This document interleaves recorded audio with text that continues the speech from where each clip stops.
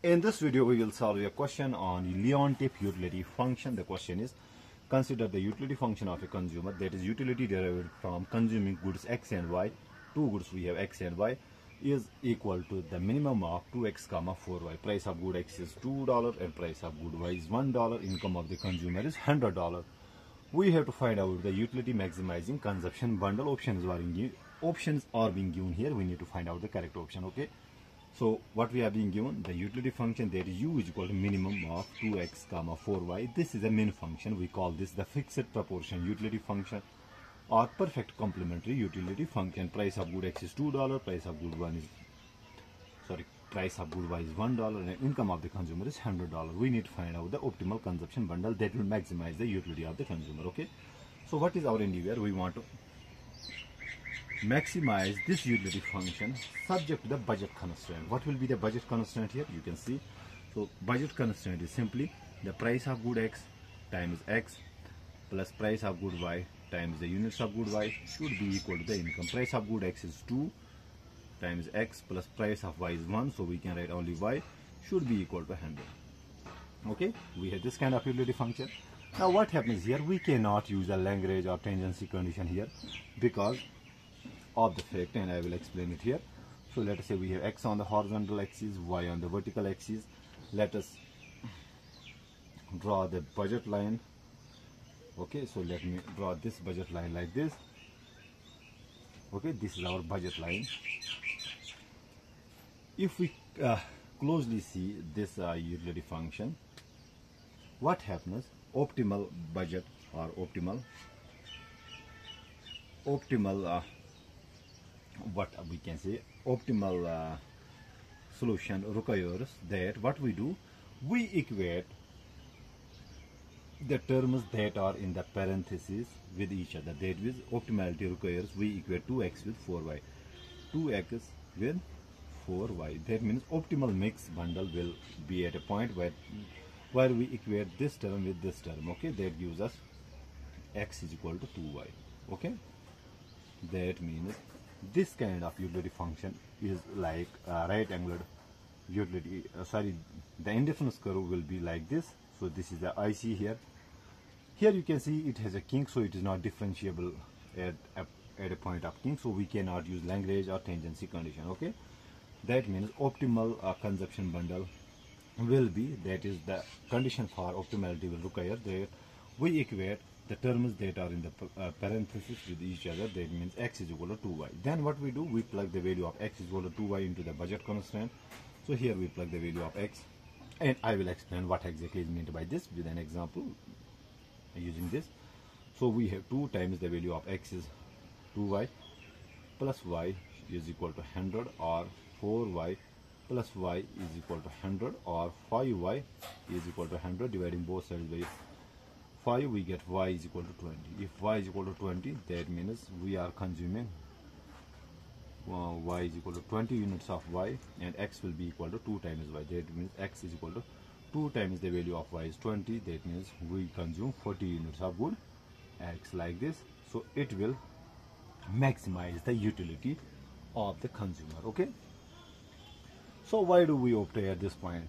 What exactly does this point uh, refer here okay so this uh, actually, and let's uh, find out the corresponding utility when we consume 20 units of good Y and 40 units of good X. So utility will be equal to, so we have minimum of, minimum of 2x that means 2 into the units of x is 20 40 so we have 2 into 40 and we have 4y that means 4 into 20 so minimum of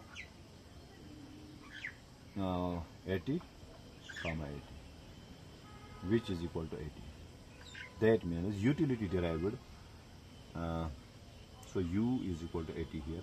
So utility derived when we consume 40 units of good x and 20 units of good y is equal to 80 utiles okay? It happens at this point okay? Why don't we consume at this point? That means if we increase the units of good x uh, uh, to 50 okay let us say we 50 and we use 20 units of good y what will be the utility? Let us see. So utility will be equal to uh, 2 times 2 times x that means 2 times the value of x which I assume is 50 comma 4 times y which is 20 again you can see u will be equal to minimum of 100 comma 80 so minimum of 180 is 80 okay? So our utility does not increase or change when we unilaterally change the consumption of one unit without changing the consumption of another good in the same proportion. Okay?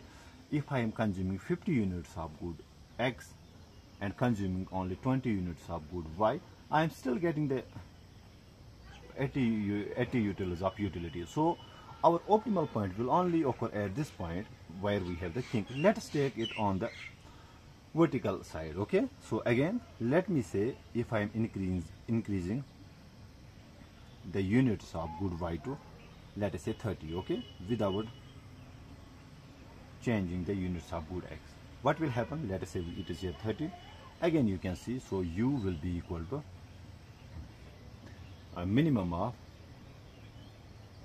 minimum of 2x so 2 we don't change the units of good x which is 40 uh, comma 4 times 30 the new value of uh, y. So again you can see minimum of 80 comma 120 so we get uh, it again comes out to be 80 okay? So if I increase the units of good y without changing without increasing the units of good x in the same proportion our utility will not increase at all. So our optimal consumption will lie at a, at a point of kink okay?